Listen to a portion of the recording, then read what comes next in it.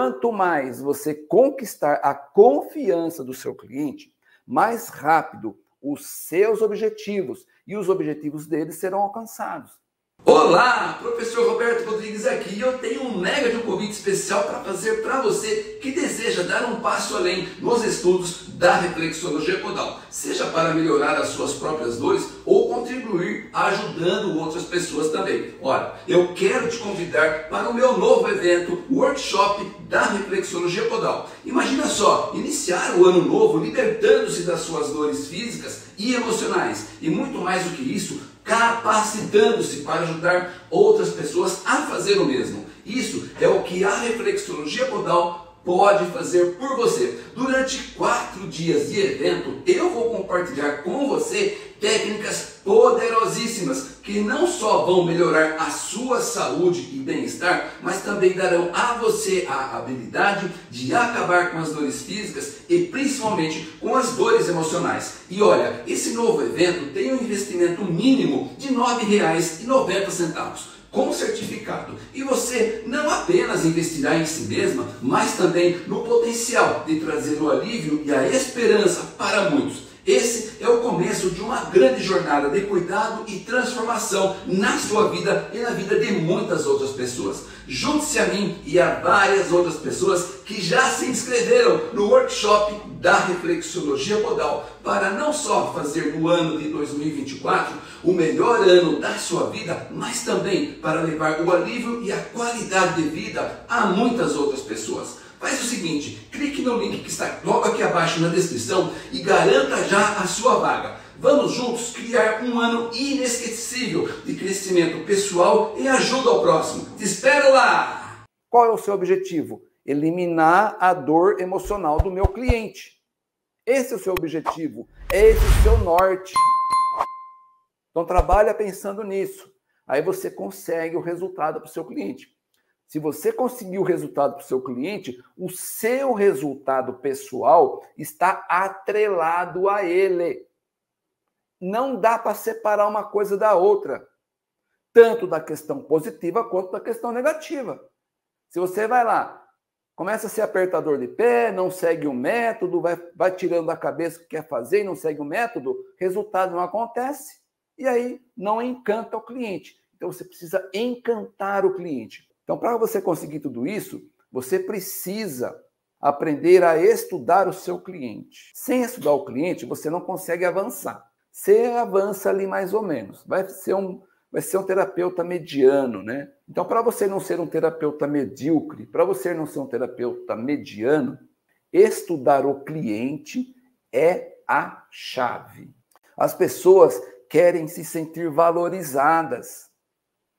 Todas elas, eu quero me sentir valorizado. Eu quero, quando eu vou ser atendido por um profissional, eu ser valorizado, que ele me dê a atenção e não fique só puxando gaveta e tirando papel e enfiando na minha mão. Né? Quem já foi ser atendido por alguém aí, a pessoa puxa a gaveta, tira um papel pronto, to, vai lá e faz. Pô, a pessoa não olhou direito na minha cara, me deu um papel para eu executar alguma coisa. Então a gente usa o, nosso conhecimento para fazer atendimentos diferenciados. Então, o seu atendimento precisa ter esse diferencial. E esse diferencial vai trazer o encantamento. O olho do seu cliente tem que brilhar. Sabe uma coisa? As pessoas hoje em dia, todos, todos nós temos compromisso o dia inteiro.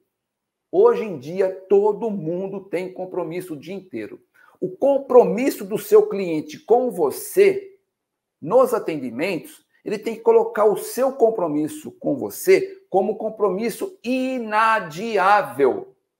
Inadiável. Os outros compromissos, ele tira, ele cancela um, reagendo o outro para outro dia, mas o seu compromisso, o compromisso dele com você, você tem que dar um jeito de conquistar tanto a confiança dele que é algo inadiável para ele, é algo desejável.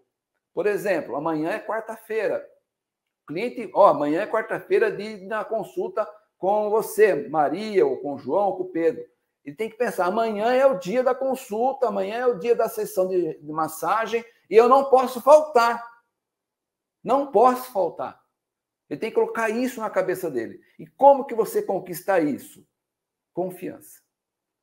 Confiança.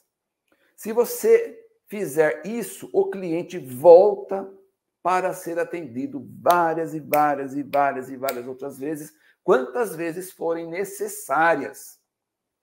E digo mais, com três, quatro sessões, o cliente já está super bem, super legal. Seja a dor que for, se fizer o método SPO. Sabe o que vai acontecer a partir da quarta, quinta, sexta sessão? O cliente, muitas das vezes, continua querendo a terapia. Ah, mas o cliente já está bem, por que, que ele quer? Porque ele se sente bem, sente agradável, você é uma pessoa agradável, você não é uma pessoa intrusa na casa da pessoa, você é uma pessoa que não fica ali colocando reparo na casa dos outros. Então vai acostumando. Você vai começar a atender e você vai começar a ir na casa das pessoas fazer o home care. Seja delicada, seja discreta. Não é para entrar na casa da pessoa, eventualmente você vai entrar na casa de uma pessoa muito cheia da grana e ficar, nossa, que lustre, nossa, que escada que sobe lá para os aposentos, para os quartos, sabe? Você não pode fazer isso. Você tem que ser discreta. Quão mais discreta você for, mais indicações você vai receber. Porque essa madame que você está indo lá na casa dela, ela conhece outras madames. E se você fizer um trabalho muito bem feito ali, essa madame vai te indicar para as outras. E isso vem acontecendo com várias das nossas alunas, que acabam começando a atender, por exemplo, num condomínio e não conseguem sair de lá. Não conseguem sair de lá.